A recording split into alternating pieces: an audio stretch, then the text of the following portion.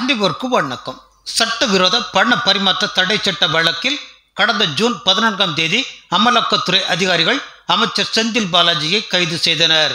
இவர் சார்பில் பல முறை ஜாமீன் கேட்டும் நீதிமன்றம் நிராகரித்து விட்டது. இந்த நிலையில் கடந்த நவம்பர் பதினைந்தாம் தேதி புழல் சிறையில் மதிய உணவு உட்கொண்ட போது வாந்தி எடுத்ததாகவும் மயக்கம் அடைந்ததாகவும் கூறப்படுகிறது. இதையடுத்து அவரை முதலில் சென்னை ஸ்டான்லி மருத்துவமனைக்கு அழைத்து சென்றனர். அங்கு அவருக்கு இசிஜி எக்ஸ்ரே மற்றும் இரத்த பரிசோதனை போன்றவை செய்யப்பட்டன.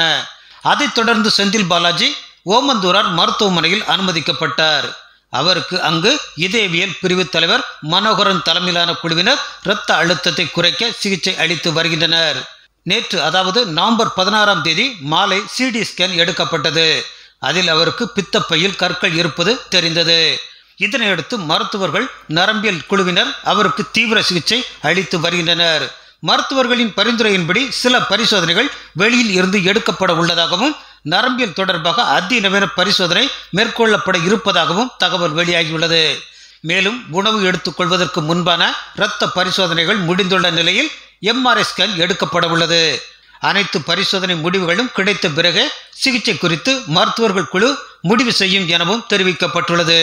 நேர்மை இல்லாமல் சட்டங்களை மதிக்காமல் மக்களை பற்றி கவலைப்படாமல் மனசாட்சி இல்லாமல் சுயநலத்துக்காக பல வழிகளில் மக்கள் பணத்தை திருடி தான் சார்ந்த திருட்டு திராவிட கட்சிக்கும் தனக்கும் பணம் பொருள் சேர்க்கும் போது பின் விளைவுகளை பற்றி யோசித்திருக்க வேண்டும்.